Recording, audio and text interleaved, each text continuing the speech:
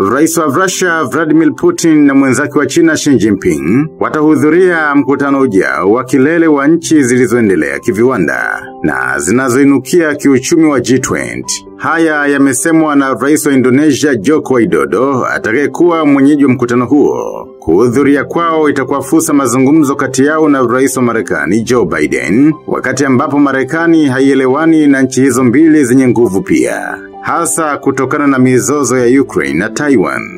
Haikuwa wazi wapo Putin na Xi Jinping wangehudhuria mkutano huo mwezi Novemba katika kisiwa cha Indonesia cha Bali, ila rais wa Widodo amethibitisha hilo katika mahojiano na shirika la habari la Bloomberg. Indonesia kwa sasa inashikilia urais wa kuzunguka wa G20, jambo linaloiweka katikati ya masuala ya kimataifa wakati ambapo vita vinaendelea nchini Ukraine na mivutano kati ya China na Taiwan ikiwa katika kiwango cha juu zaidi baada ya China kufanya luteka zake za kijeshi hivi karibuni.